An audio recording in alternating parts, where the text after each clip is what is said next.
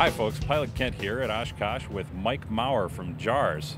Welcome aboard, Mike. Good morning, uh, Kent. It's good to be here. So, tell us a little bit about your organization and, and what you do. Well, JAARS began in 1948 as the Jungle Aviation and Radio Service to provide communication and transportation support for missionaries in the Amazon jungle. Over the years, we've grown to provide many other support services, so we just call ourselves JAARS. We just go by the initials today. Okay, what, what other types of support services do you provide? Well, in the area of transportation, we have maritime services, land transportation. IT is our largest department, uh, our largest support services that we provide. Uh, vernacular media, audio, video production, like we're doing here, in local languages. Okay, cool. Um, how do you uh, how do you integrate airplanes into all that? Well, many of our people work in very remote parts of the world.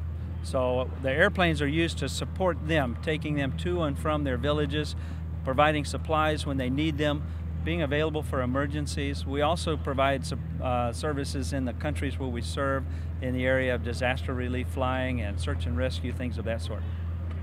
Okay, so you're a finalist for the Lightspeed Aviation Foundation, uh, which provides grants. Uh, explain what the money would go to if, if you uh, should be chosen and uh, what good it'll do. Well, in uh, today's world, we're having to renew our fleet. In uh, many of the countries we work in, aviation gasoline, the 100 low lead fuel that we use in our piston engines, is either very expensive or not available.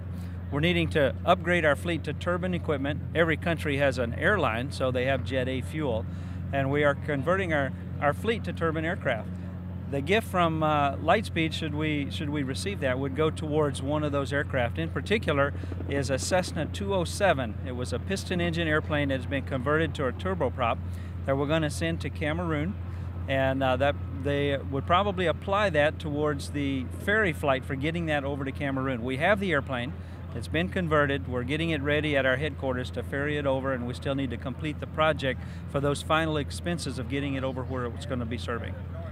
All right, excellent. Uh, now, if people are interested in learning more about your organization, making a donation, that sort of thing, where can they find you? They can find us at our website. That's www.jaars.org. All right, well, Mike, thank you very much. Best of luck to you. You.